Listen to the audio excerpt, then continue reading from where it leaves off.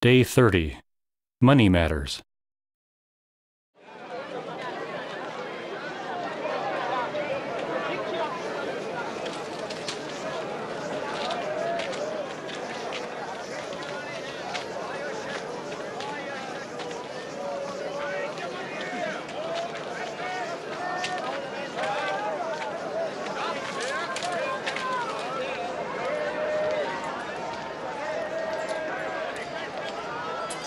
three.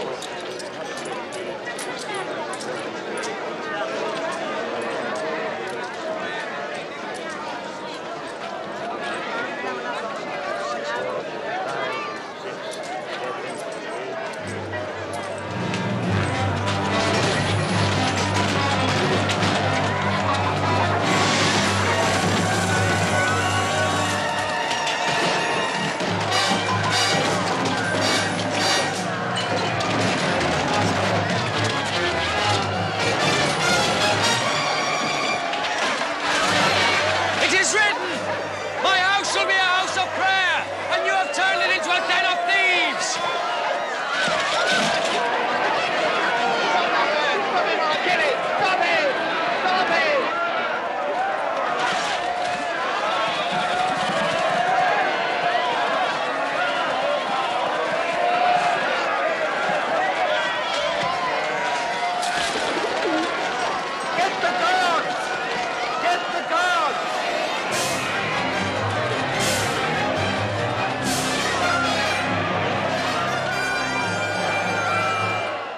And as the hypocritical section of the scribes and the Pharisees came increasingly under his attack, so his following among the Jews grew.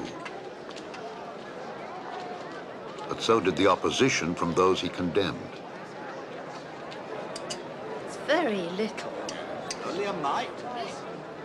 Can't you give more? I tell you that this poor widow put in more than all the others. For the others offered their gifts from what they had to spare of their riches. But she, poor as she is, put in all the living that she had. How do Jesus' actions challenge me?